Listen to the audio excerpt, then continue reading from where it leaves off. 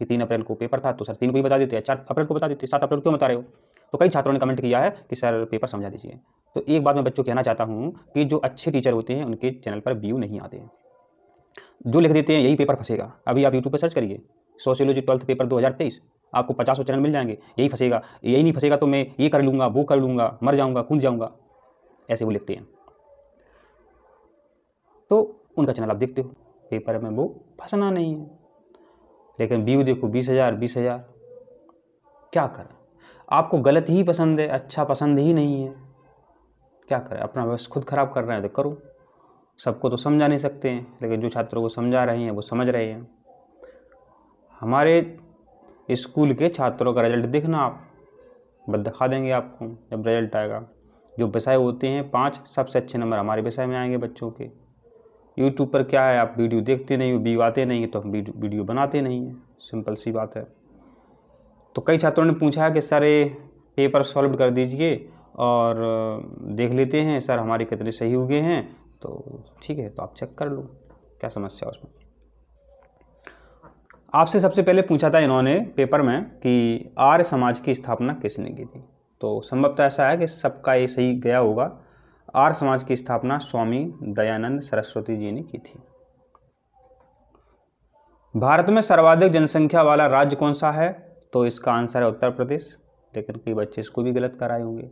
हमने आपको ट्रक के द्वारा सभी प्रश्न समझाए हुए हैं क्लास में। हमने कहा था कि कोई पूछे आपसे कि, सर, या सर ने किसी छात्र से पूछा कि बता दो किस प्रदेश की जनसंख्या सबसे ज़्यादा है? तो हमने एक ट्रक बोली थी उस समय। हमने एक तो उस बच्चे ने जवाब दिया था कि सर हमसे क्यों पूछ रहे हो? हमसे क्यों पूछ रहे हो? उसी से पूछो। वही आपका फेवरेट स्टूडेंट है। फेवरेट छात्रा है आप, उसी से पूछो। तो हमने बताया था कि ऊ से याद कर लेना कि उत्तर प्रदेश की जनसंख्या सबसे ज़्यादा है और सिक्किम की सबसे कम है। ये ट्रिक हमने बताई थी आपको। एक बार नहीं, दस बार बताई थी। स्वतंत्र भारत की पहली जनगणना कब हुई थी? इसका आंसर बच्चे, कई बच्चे ने गलत किया। है तो करेक्ट आंसर आपका उन्नीस सौ इक्यानवे। इसको हमने आपको ऐसे समझाया था कि जब पहली जनगणना हुई थी अठारह सौ इक्यासी में, ठीक है, नियमित जनगणना, दस जोड़ते जाओ जोड़ते जाओ, दस जोड़ते जाओ जोड़ते जाओ तो आपको इक्यावन मिलेगा। तो इक्यावन देखिए रखा है इक्यावन। एक संख्या मिलेगी आपको। कहीं पर भी देखो लास्ट का अंक एक नहीं है। क्या होता है, उन्नीस सौ बावन और लिखा रहता है तो बच्चे कन्फ्यूज़ हो जाते हैं। तो उन्नीस सौ इक्यावन आपका सही था। परिवार कैसी संस्था है? तो परिवार जो है एक सामाजिक संस्था है। विवाह भी एक सामाजिक संस्था है। ये हमने आपको एक नहीं, हज़ार बार बताया होगा क्लास में। और यूट्यूब चैनल पर भी हमने आपको एक हज़ार बार बताया। भारत में आपातकाल की घोषणा किस वर्ष की गई थी? तो आपातकाल की घोषणा है 1975 से 1977 के बीच आपातकाल की घोषणा की गई थी। ध्यान रखें। उस समय फ़खरुद्दीन अली राष्ट्रपति थे तो 1975 में ये आपातकाल की घोषणा की गई थी। अगला प्रश्न है कि औद्योगिक विकास विवाद की दशा में हड़ताल किसके द्वारा की जाती है? जब औद्योगिक विवाद होता है तो हड़ताल कौन करता है? हड़ताल कौन करेगा? सीधी सीधी बात है। अपन लोग करेंगे, अपन गरीब हैं सब। अपन क्या है? श्रमिक हैं अपन। अपन क्या है? श्रमिक हैं। गरीब हैं। तो अपन ही लोग हड़ताल करेंगे और कौन करेगा हड़ताल? तो उद्योगों के, श्रमिकों के द्वारा हड़ताल की जाती है, गरीब लोगों के द्वारा। उनको मुआवजा नहीं देते हैं। सही उसकी जो पैसा बैठता है तो पैसे नहीं मिलते हैं। तो श्रमिक लोग होते हैं, वो हड़ताल करते हैं। तालाबंदी है वो जो बड़ा होगा आपने, कई बार बताते हैं इंपॉर्टेंट क्वेश्चन हड़ताल और तालाबंदी। अब जो है आपका है कि सत्य असत्य लिखिए। तो यहाँ पर देखिए, उदारीकरण की नीति का प्रारंभ उन्नीस में हुआ था। तो ये आपका कैसा है? ये आपका असत्य है। ये आपका असत्य है। ठीक है, ध्यान देना। इसको हमने क्लास में एक बार नहीं, कई बार बताया बच्चों को। फिर है कि ग्रामीण लोगों का प्रकृति से सीधा संबंध होता है तो ये भी सत्य है। ये भी सत्य है। जाति एक बंद वर्ग है तो ये क्या है? ये आपका सत्य है। अब ये सत्य क्यों है? जाति एक बंद वर्ग है, क्योंकि एक बात बताओ, मजूमदार ने क्या प्रवास दी थी जाति की? जाति एक बंद वर्ग है तो ये सत्य है आपका। सत्य ही तो है।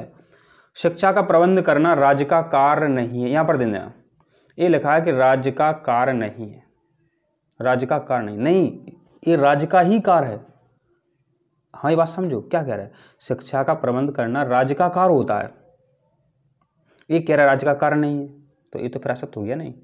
ये तो क्या हो गया? ये तो फिर असत्य हो गया। ठीक है। हरित क्रांति का प्रभाव मुख्य रूप से धान के उत्पादन पर पड़ा।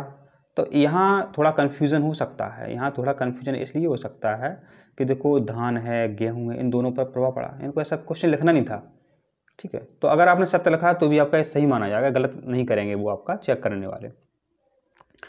चंपारण का आंदोलन का संबंध बिहार से बिल्कुल सही है। महात्मा गांधी के द्वारा और राजकुमार शुक्ल के द्वारा ये हुआ था, बिहार में हुआ था चंपारण स्थान पर, ठीक है? तो ये भी आपका हो चुका है, ये भी आपका क्या है, सत्य है। चंपारण आंदोलन बिहार में हुआ था। राजकुमार शुक्ल ने महात्मा गांधी जी को बुलाया था। ठीक है तो ये आपको ध्यान होना चाहिए। ये किस लिए हुआ था? ये हुआ था, नील खेती के विरुद्ध हुआ था। अंग्रेज़ चाहते थे कि नील की खेती करें किसान। तो गांधी जी को बुलाया था, राजकुमार शुक्ल ने। तो आंदोलन हुआ था। ये हैं आपके रिक्त स्थान तो इन्हें अपन देख लेते हैं। अब है गंगा के प्रदूषण को रोकने के लिए संबंधित कार्यक्रम जो चलाया गया था, उसका नाम क्या है? तो उसका नाम क्या है? उसका नाम क्या लिखना था? नमामि गंगे परियोजना। उसका नाम आपको क्या लिखना था? नमामि गंगे परियोजना। भारत के पूर्वोत्तर राज्यों में, इसको हमने कई बार बताया। जो भारत के पूर्व में जो राज्य हैं, असम है, नाम भी बताया था हमने। असम है, मेघालय है, ऐसे बताया था आपको। राज्यों में किस धर्म को मानने वाले लोग ज़्यादा रहते हैं? तो ईसाई धर्म को मानने वाले लोग ज़्यादा रहते हैं वहाँ पर। भारत में राष्ट्रीय महिला आयोग की स्थापना कब हुई थी? उन्नीस सौ बानवे में हुई थी। तो हमने ये बताया था कि बाने महिला आयोग के बारे में अच्छा बताया था। तो बाने से हमने आपको याद कराया था, बानवे। बानवे महिला आयोग पर अच्छा निबंध लिखा था। बानवे माना बानवे तो उन्नीस सौ बानवे। नव मध्यम वर्ग असंतुलन की दिशा में है। तो यहाँ आपको लिखना था सांस्कृतिक। क्या लिखना था आपको यहाँ पर? सांस्कृतिक लिखना था। अब क्या है? देखो, जो गरीब लोग थे, वो पैसे वाले हो रहे हैं थोड़े थोड़े फैक्ट्रियों में काम करके या नौकरी करके। तो अब वो जो बहुत पैसे वाले हैं, फ़ैशन में रहते हैं तो उन जैसा होने का प्रयास कर रहे हैं, उन जैसा रहने का प्रयास कर रहे हैं। तो सांस्कृतिक असंतुलन की दशा है उनके अंदर बस और कुछ नहीं है। हरत क्रांति का सबसे अधिक लाभ किसको मिला? तो हरत क्रांति का लाभ सबसे अधिक किसको मिला? बता दो। पंजाब और हरियाणा राज्य को प्राप्त हुआ। अब बच्चों ने हरियाणा लिखा तो भी सही माना जाएगा और पंजाब लिख दिया तो भी सही माना जाएगा, ठीक है? तो पंजाब और हरियाणा हरियाणा राज्य को प्राप्त हुआ। सार्वजनिक उद्योगों से सरकार द्वारा अपना निवेश कम करने या समाप्त करने की नीति का नाम क्या है? विनिवेश नीति। तो यहाँ पर बच्चों ध्यान दो। हमने, देखो बच्चों, आपको क्लास में कई बार बताया, जब सरकार के द्वारा कंपनी से अपना रुपया, पैसा वापस लिया जाता है, अपना जो पैसा निवेश किया था वो वापस लिया जाता है, उसे विनिवेश नीति कहते हैं। तो ये सरल था। श्रम विभाजन तथा औद्योगिकरण समाज की एक आधारभूत विशेषता है। तो यहाँ आपको क्या लिखना था? यहाँ लिखना था आपको विशेषीकरण। श्रम विभाजन तथा विशेषीकरण जो है, औद्योगिकरण समाज की एक आधारभूत विशेषता है।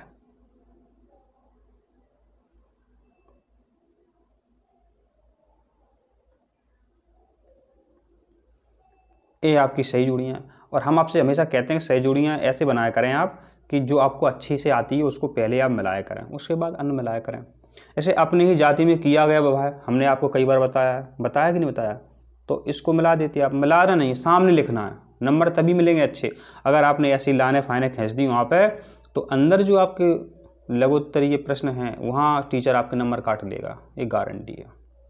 उसको यहाँ दिक्कत आती, चेक करने, गुस्सा आती है यहाँ पर, अगर आपने लाने फाइने खींच दिए सीधे सीधे लिखा करूँ। अन्य पिछड़ा वर्ग हमने आपको कई बार बताया। कि इनको अवशिष्ट श्रेणी भी कहते हैं। जब हमने लास्ट में वीडियो बनाया था, तब आपको बताया था अवशिष्ट श्रेणी के बारे में। ग्रामीण उपभोक्ता की समस्या क्या है? ग्रामीण उपभोक्ता की समस्या क्या है? उदारीकरण। ठीक है? और राष्ट्रीय बीज निगम की स्थापना कब हुई थी? तो अब ये स्थापना वाला प्रश्न आ गया। स्थापना माना सन पूछा है आपसे। अब दाने तरफ़ देख लो। एक सन दो दो सन दिए होते। बाई चांस दो दिए होते तो यहाँ आपको दिक्कत आ जाती। अब एक ही सन दिया है, उन्नीस और यहाँ वो पूछ रहे हैं आपसे तो बताओ, कुछ दिमाग का भी काम होता है, अकल का भी काम होता है, कुछ होशियार होना हमेशा, बहुत होशियार होना कोई आवश्यकतापूर्ण चीज़ नहीं है। अब औद्योगिक समाज की क्या विशेषता जब औद्योगिक समाज होता है, जहाँ उद्योग में आदमी लगे होते हैं तो पैसा भी आता है। पैसे आते हैं तो वस्तुएँ खरीदते हैं, वस्तुएँ खरीदते हैं तो बाज़ार अच्छा हो जाता है। बाज़ार अच्छा क्यों होता है? क्योंकि उनके सामान बिकते हैं। तो यह है विकसित बाज़ार प्रणाली। ये गलत हो गया। ये यहाँ से लगाना था अपने को। औद्योगिक समाज की विशेषता है विकसित बाज़ार प्रणाली। सोशल मूवमेंट इन इंडिया, इसको हमने स्कूल में कई बार बताया। है सोशल माना समाज। समाज और एम एस ए समाज, ऐसे लग रहा है आपको एस एम ए राव। तो हमने आपको बताया था। ठीक है तो ये आपकी सही जुड़ियाँ हैं। फिर आपसे क्या पूछे थे? एक वाक्य में उत्तर पूछे थे आपसे तो यहाँ पर ध्यान देते जाना। आप नर्मदा आंदोलन में महत्वपूर्ण भूमिका निभाने वाली महिला का नाम क्या था? मेधा पाटकर। करेक्ट आंसर है। आपने सही किया होगा। वंश परंपरा के आधार पर परिवार के दो मुख्य रूप कौन कौन से होते हैं? सभी बच्चों ने इसको सही किया होगा। मातृवंशीय और पितृवंशीय दो प्रकार के परिवार सही बात है। वंश परंपरा के आधार पर परिवार के मुख्य रूप दो ही प्रकार के होते हैं। मातृवंशीय, माता और पिता वाला, मातृवंशीय और पितृवंशीय। स्वतंत्रता के बाद राज्यों के पुनर्गठन से किसे बढ़ावा मिला है? अब देखो, जो बढ़ावा शब्द है, वो ऐसे रूप में प्रयोग किया था कुछ बुराई वाली। अच्छा तुम बढ़ावा कहा जा रहा है भाई? ठीक है। तो हो सकता है यहाँ पर सांप्रदायिकता हो। मुझे कन्फर्म नहीं है इसका आंसर एक इसका आंसर क्या बनाने वाले ने कैसे ये प्रश्न बनाया, वो समझ में नहीं आया। धर्मनिरपेक्षता से क्या आशा है? तो ये तो बहुत सरल है, धर्मनिरपेक्षता से क्या आशा है? माने राज्य के द्वारा जब किसी विशेष धर्म का पक्ष नहीं लिया जाता, सभी धर्मों को समान समझा जाता है, राज्य के द्वारा उसे धर्मनिरपेक्षता कहते हैं। आपने जैसे ये परिभाषा लिखी है वो आपकी परिभाषा सही मानी जाएगी। ठीक है। धर्मनिरपेक्षता का अर्थ है कि राज्य, राजनीति या किसी गैर धार्मिक मामले से धर्म को दूर रखे तथा सरकार धर्म के आधार पर किसी से भी कोई भेदभाव ना करे। ठीक है तो ये धर्मनिरपेक्षता कहलाती है। माना जब राज्य के द्वारा किसी धर्म को विशेष लाभ ना दिया जाए, उसे धर्मनिरपेक्षता कहते हैं। सभी, जब कोई राज्य सभी धर्मों को समान समझे, इसे धर्मनिरपेक्षता कहते हैं। आपने जैसे भी परिभाषा लिखी है, वो सब सही है। अब कृषक वर्ग संरचना में किस वर्ग की स्थिति सबसे भिन्न है? तो जो खेती हर मजदूर होते हैं, जिनके पास, खेती करने के लिए ज़मीन नहीं होती है, जो खेती हर मजदूर होते हैं, जो बिना भूमि के मजदूर होते हैं, जो दूसरों के यहाँ मजदूरी करते हैं तो खेती हर कृषक वर्ग। तो इसका आंसर यही है। कृषक वर्ग संरचना में किस वर्ग की स्थिति सबसे भिन्न है? खेतीहीन कृषक वर्ग। भारत में स्वतंत्रता के बाद अर्थव्यवस्था के किस मॉडल को अपनाया गया था तो मिश्रित अर्थव्यवस्था को अपनाया गया था। मिश्रित अर्थव्यवस्था का मतलब है सार्वजनिक और निजी माने, सरकारी और निजी माने, सरकारी लोग और प्राइवेट लोग। कोई भी कंपनी खोलें, अपना पैसा लगाएँ। समाज कल्याण का मुख्य अर्थ बताइए। समाज कल्याण का क्या अर्थ है? तो किसी भी नागरिक समाज की आवश्यकताओं की पूर्ति करना समाज कल्याण का मुख्य अर्थ है। अब इसका उत्तर कई प्रकार से आप लिख सकते हैं अगर ऐसा लिख दिया तो भी सही है। नागरिकों की आवश्यकताओं की पूर्ति करना समाज कल्याण कहलाता है। तो हमने आपको ये वीडियो बताया है। आशा करते हैं आपको ये वीडियो समझ में आया आ, आया है। अगर आप चैनल पर नए हैं तो चैनल को सब्सक्राइब करिए क्योंकि बारहवीं की बात आपकी नौकरी की तैयारी हम करवाएँगे बहुत सरल शब्दों में। आप एक दो बार वीडियो देखो, हमेशा हमेशा के लिए आंसर आपको याद रहेंगे। नहीं तो आप बीस साल पढ़ते रहो पच्चीस साल पढ़ते रहो, कुछ नहीं होने जाने वाला।